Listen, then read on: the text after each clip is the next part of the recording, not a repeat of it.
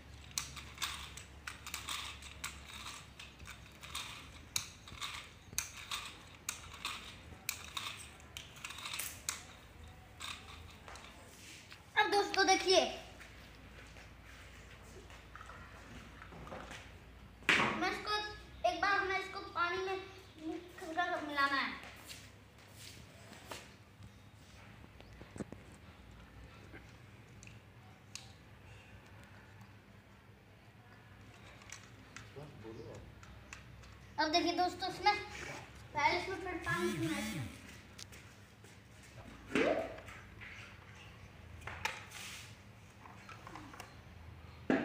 इसका जो गंदा चीज़ होता है, उसको बाहर फेंक दीजिए आप।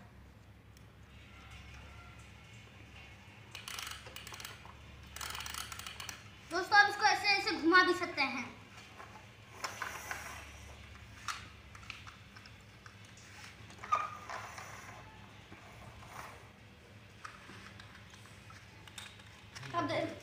देखिए आप